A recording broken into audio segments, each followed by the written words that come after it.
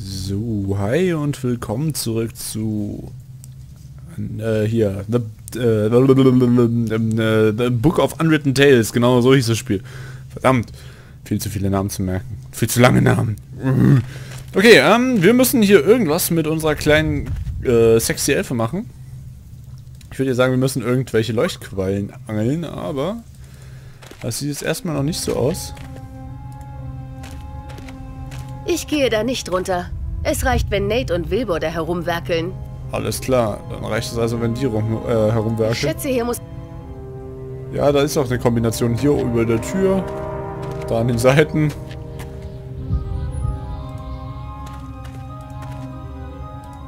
Okay, und... Die Schnur wäre lang genug, um etwas zu Wilbur hinunterzulassen, aber sie ist zu dünn, als dass er daran hochklettern könnte. Und wenn wir hier Wurzeln abschlagen? Yes. Bam.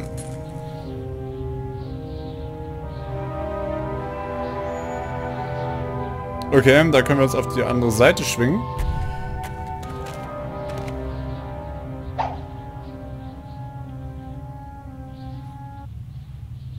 Das hat ja gut geklappt. Kann ich hier draußen jetzt irgendwas Neues mitnehmen?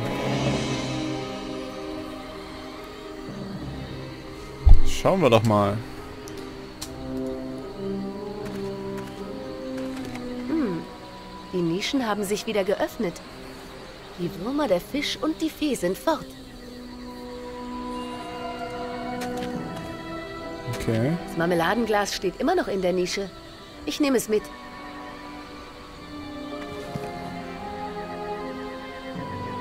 Der Fisch ist mitsamt dem Wasser verschwunden. Aber der Eimer sieht noch in Ordnung aus. Okay, dann nehmen wir den Eimer noch mit. Okay, die anderen sind leer, die anderen Nischen. Wir können nicht mal mit Cheap Cheap reden. Cheap Cheap ist eingeschnappt, glaube ich. Aber ich habe mit den Sachen schon so ein bisschen einen Plan. Und hüpf. Und zwar werde ich jetzt hier den Eimer benutzen, um Wasser zu schöpfen. Ich werde den Eimer benutzen, um Wasser zu schöpfen. Okay, dann halt nicht. Dann nehmen wir das Marmeladenglas. Ja, Marmeladenglas ist natürlich viel logischer als ein Eimer. Diese Quallen haben vermutlich noch nie ein anderes Lebewesen gesehen. Sie sind ganz zutraulich. Oh, das ist süß. So, und die tun wir jetzt das da rein. Das Glas mit der Leuchtqualle steht im Eimer. Sehr gut. Ich habe den Eimer an der Schnur festgebunden. Kinder, ich habe da unten eine Überraschung für euch. Nämlich Licht. Das wird wunderbar leuchten, sag ich euch. So, hier, Wilbur. Warum geht sie da erst zurück? Was soll das? Hey, Wilbur! Ich lasse dir eine Leuchtqualle runter.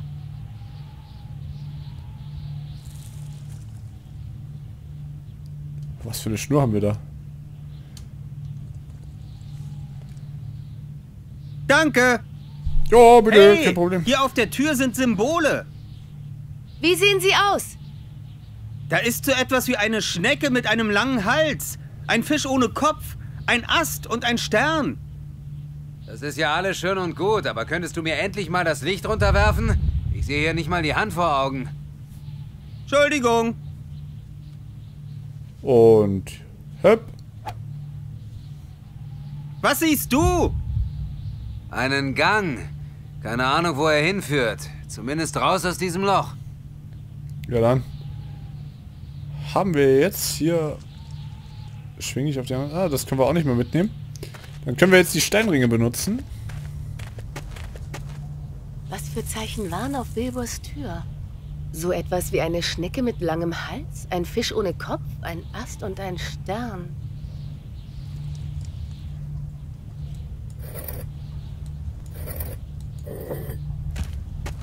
Eine Schnecke mit langem Hals. Das sieht doch aus wie eine Schnecke. Ein Fisch ohne Kopf. Das hier? Was war das? Keine Ahnung. Ganz unten war auf alle Fälle ein Stern. Können wir hier jetzt mal durchprobieren. Tja.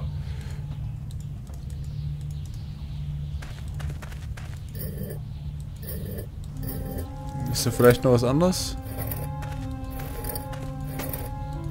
Würde sagen, das ist die Schnecke.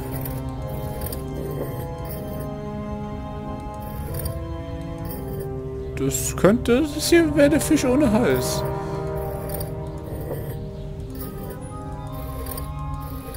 Oder? Aber wie sieht denn ein Fisch ohne Hals aus? Das ist ein Fisch ohne Hals.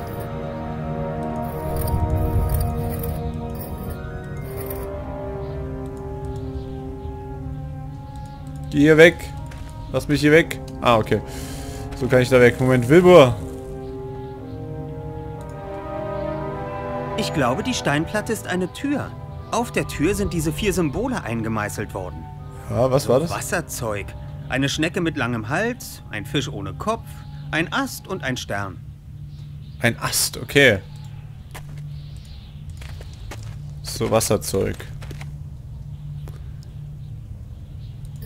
Eine Schnecke mit langem Hals. Das Ding hier? Ein Fisch ohne Kopf. Ein Ast. Und ein Stern. Wilbur? Sind wir richtig? Nein, ist nicht offen. Ich glaube, die Steinplatte... So, was? Hm. Tja, und was sagt Nate? Eine hässliche Fratze. Ich hoffe sehr, das ist kein Selbstbildnis eines Erbauers dieses Tempels. Das hoffe ich doch auch.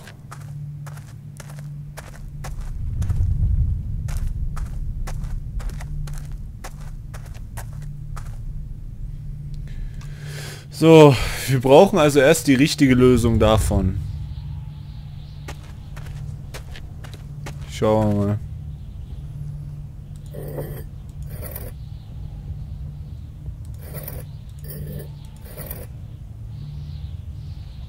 Nein.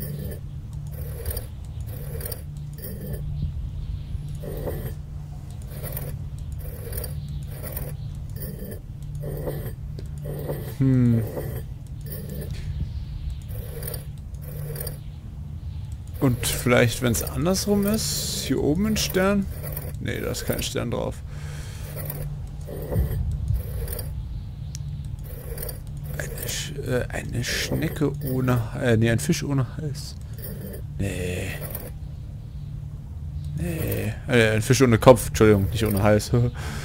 äh, Kopf, Kopf, Kopf. Hier ist kein Kopf dran. Das müsste doch eigentlich das sein. Haben wir sonst noch was, was wie ein Ast aussieht? Das sieht wie ein Ast aus. Ja, das ist korrekt. Ist das der Ast? Ich würde ja jetzt gerne hören hier, ob es irgendwie eine Best einen Bestätigungssound gibt oder sowas. Ich glaube, Es die ist Steinplatte ja- ist eine Tür. So, Wasserzeug. Eine Schnecke mit langem Hals, ein Fisch ohne Kopf, ein Ast und ein Stern. Ein Ast und ein Stern. Ja, das ist, das ist doch hier. Schnecke? Ja, das ist eine Schnecke, ganz klar. Das ist ein Fisch ohne Kopf. Gibt es noch einen anderen Stern? Nö, das ist ein Stern. Das ist kein Ast. Das hier ist ein Ast. Ist das ein Fisch ohne Kopf? Wilbur? Nein, auch nicht. Spring einfach runter. ist doch... Echt jetzt? Ernsthaft? Das ist ja zum Kotzen. Oder ist es irgendwie eine andere Reihenfolge? Fisch ohne Kopf. Das Ding. Könnte das ein Fisch ohne Kopf sein?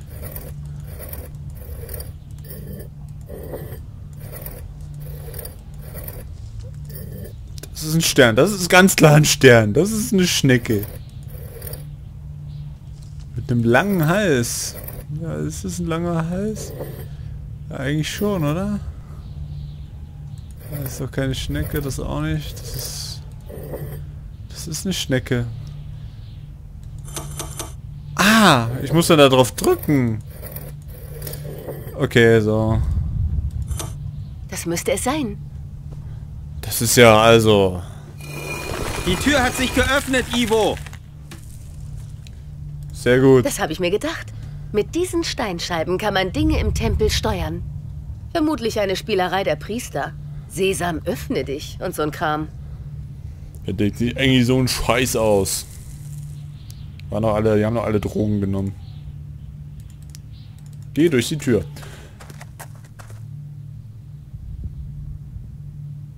Einer Da der ist ein Stein. Steine ist aus der Wand gebrochen. Früher oder später wird wohl der gesamte Tempel einstürzen. Ja, hoffentlich früher als später, ne? Einer der Steine ist... Okay, dann stell du dich mal da drauf. Ich komme nicht an dem Stein vorbei.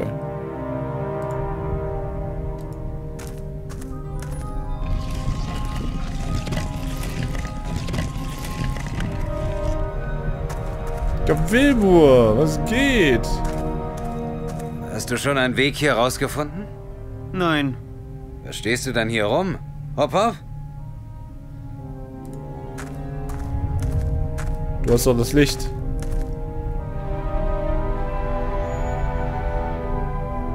Das ist ja ein Rad.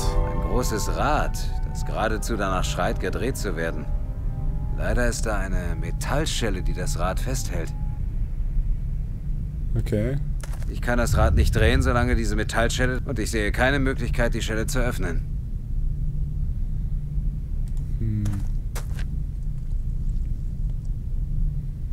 Vielleicht von... Nee, von oben ist unlogisch. Wilbur! sieht ein bisschen aus wie meine Tante Ethel. Wow. Ist voll gruselig, deine Tante. Okay. Dann geh du mal da durch.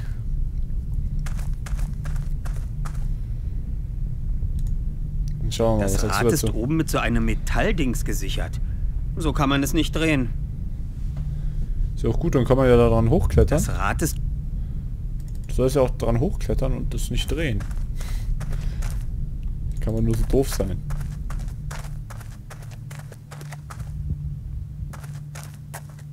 Fährt das Ding jetzt wieder hoch?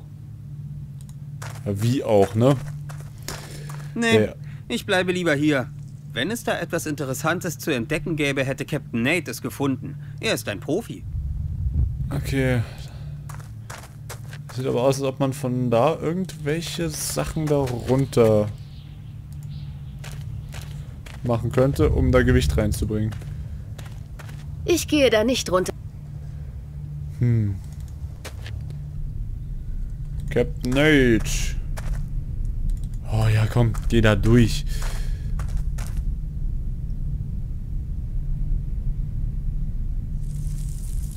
Rede mit Wilbur. Hast du schon einen Weg? Nein, Was stehst du? Genau, komm, du gehst mal auf die Plattform.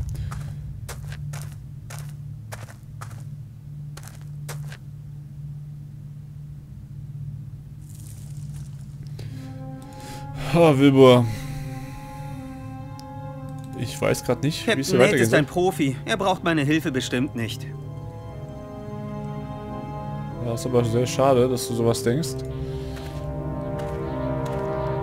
Habe ich hier irgendwelche Steine, die ich da runterschubsen kann? Hier irgendwas? Betrachte die Fratze. Alles voll mit Fratzen. Gibt's hier irgendwas? Tüdelülü. Nein.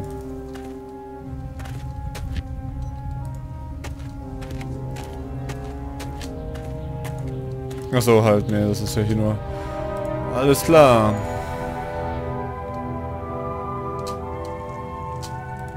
Ah, da oben sind auch nochmal Wurzeln. Ja, betrachte sie doch. Die Wurzeln hängen ziemlich tief, aber immer noch zu hoch für mich, um an ihnen raufzuklettern. Die Wurzeln hängen... Ja, haben wir irgendwas, um sie zu zerhacken? Wilbur, sag du mir was zu den Wurzeln. Selbst in dieser Tiefe gibt es noch Wurzeln. Und wie es scheint, wollen sie noch weiter nach unten. Vielleicht könnte ich sie mit Captain Nates Hilfe sogar erreichen. Okay, dann klettern wir da mal hoch. Captain Nate. Captain Nate, können Sie mich mal hochheben? Warum sollte ich?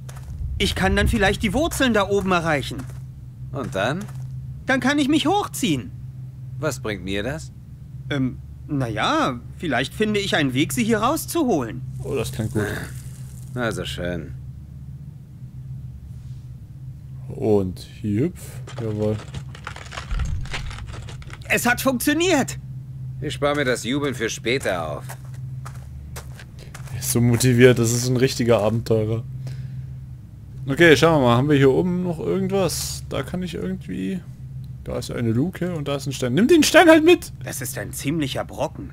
Aber ich könnte ihn vielleicht dennoch verschieben. Ich will den Stein lieber nicht ins Loch fallen lassen. Ja, ich will mich auch nicht erst ich nicht nochmal hochreden lassen, das ist voll peinlich. Eine Art Luke mit einem Rad. Hm. Ja. Ich schaffe es nicht. Das heißt, wir müssen Captain Nate da hochbringen. Okay.